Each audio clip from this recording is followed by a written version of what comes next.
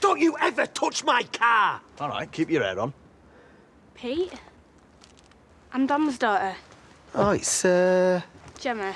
Gemma. yeah. Are you here to see Dad? I might be. I heard he was living in the area, so... How are you? Okay. Well, cheer up then.